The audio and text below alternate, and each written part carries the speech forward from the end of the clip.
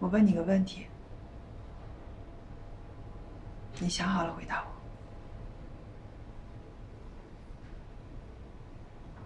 你说，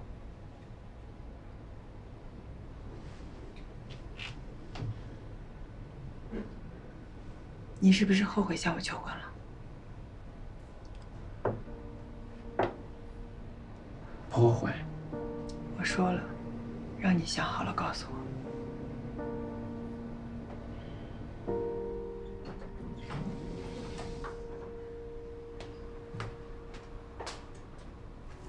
我现在所有的生活都让你毁了，你知道吗？你还想怎么着？还是说你现在分手了，想拿我撒气是吗？你自己也说了，你分手跟我没关系，你还想干嘛？